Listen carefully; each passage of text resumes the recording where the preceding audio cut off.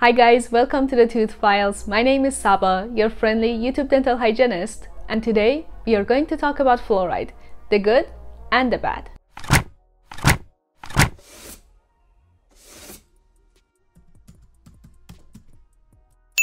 Let's start with the good. There is a strong scientific evidence showing that fluoride can help prevent dental decay in both children and adults. It can also help repair your small cavities when they are at their early stages.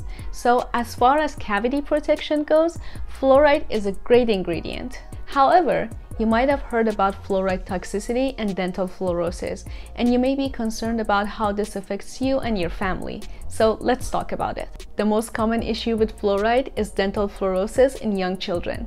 These are white and sometimes brown spots on your teeth, and in severe cases, you might see some pitting on your enamel. But here's a key point about this.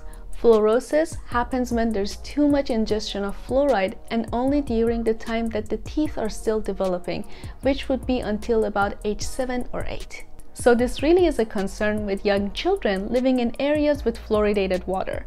Yes, that fluoride is protecting their teeth against cavities, but what happens is that young children cannot spit out the toothpaste. So the fluoride in their paste combined with the fluoride in the water can cause dental fluorosis. Another concern with fluoride is fluoride toxicity. Again, this is an issue with ingesting too much fluoride. If you do happen to ingest too much fluoride, short term, you may experience upset stomach, nausea, and vomiting. There is also research suggesting that ingestion of fluoride beyond the safely tolerated dose may cause a skeletal fluorosis, which means that fluoride will get absorbed into your bones and increase the risk of bone fracture. Having said that, I want to be very clear. Fluoride toxicity happens when you ingest a large amount of fluoride beyond the safely tolerated dose and not by putting fluoride toothpaste on your teeth. But if you were so inclined to snack on your toothpaste, you would have to eat more than two tubes of toothpaste to cause fluoride toxicity. And as a dental hygienist, I highly advise against that. The good is fluoride can help prevent cavities in both children and adults.